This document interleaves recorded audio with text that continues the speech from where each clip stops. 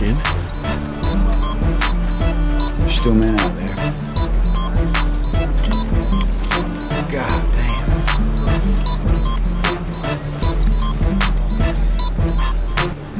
When I go home, people ask me, hey, Hoot, why do you do it, man?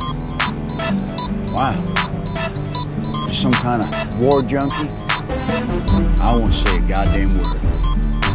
Why? They won't understand.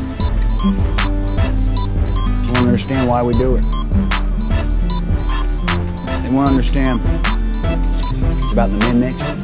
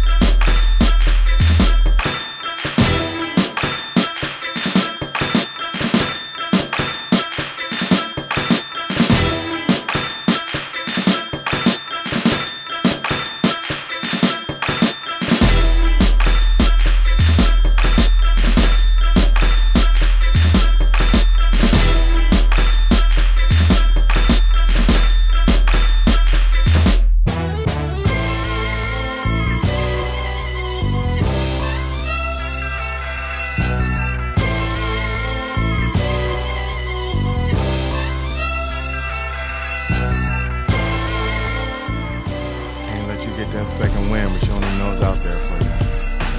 You want the title? You want to wear the heavyweight crown?